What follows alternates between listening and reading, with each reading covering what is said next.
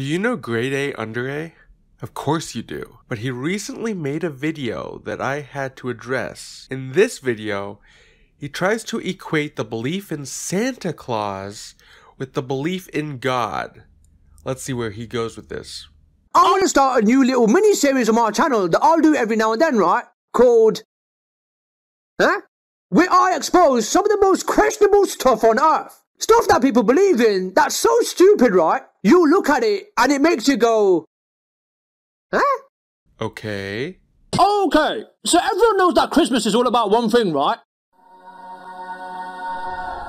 Ha Good one, Jesus! Jesus, you crazy mate! No, but seriously though, presents! Really? That's your lesson there? Christmas is all about presents? That's strike one. Listen, Santa Claus is like gender, man. It's a social construct. It's not real. How anyone can believe that gender is a social construct is beyond me. If there's anything that's plainly obvious, it's gender. It's just another attack against God. Strike two. It's not the story of Noah's Ark. Um, no, it's not. Completely different. Strike three.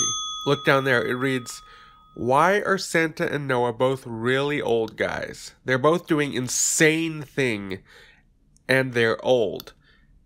Noah was legit over 500 years old. Did old people have superpowers back in the day or something?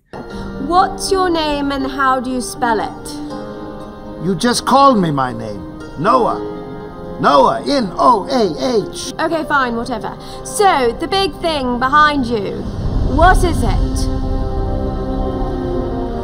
It's a ship. A ship with no oars and no sails. Doesn't look like any ship I've ever seen. Call it an ark then. What's an ark? A ship with no oars or sails. That's strike four for not understanding. Here's a little lesson. Back in the day, people lived a lot longer. Living to the age of even 8 or 900 wasn't a big deal. Noah's grandfather Methuselah lived to be 969 years old. Being over 500 probably was the equivalent of being like 40 today or something. He probably wasn't a wrinkly old man with a cane like you see there. Having one old man have the task of building a yacht. Strike five. You just don't understand. It wasn't one old man.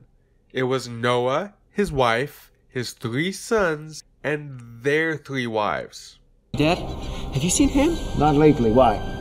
We need him to inspect the food chutes, and, and we need a lot more of these. I'll tell him I'm uh, I'm doing an interview. Plus, Noah could have hired outside contractors. It's better than bronze. Bronze is better. You're an idiot. You wanted hinges made out of iron, so I made them out of iron.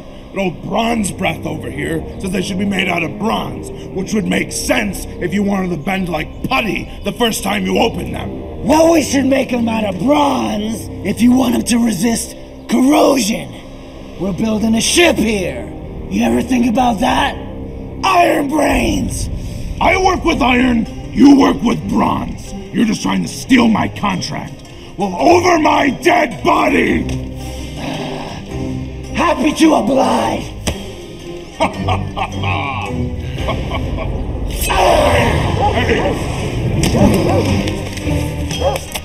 Make them out of iron. Hinges iron, piping bronze. See? There's plenty of work for both you boys. Don't forget your knife. And saving every species on Earth. It wasn't every species, just every kind. Genesis 6:20 of the birds according to their kinds and of the animals according to their kinds and every creeping thing of the ground according to its kind. Two of every sort shall come in. That's strike 6. The idea of an all-seeing, all-knowing bearded god. We all know what he's talking about now.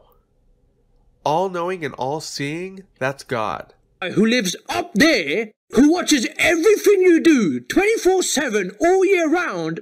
God again. This isn't even Santa Claus anymore. Hebrews 4:13. And no creature is hidden from his sight, but all are naked and exposed to the eyes of him to whom we must give account. Just because you don't want it to be true doesn't mean it isn't. The existence of God is simply logical. As long as stuff exists, we know that there is someone who put it here. As you know, all life is basically life is built on DNA. And DNA is an information system and a language system. Um, so, do you have any evidence that matter produces a language system, matter produces information? I mean, there, there are billions, trillions of bits of information in living systems. Can you, can you testify to how information arose by natural processes? Here we are.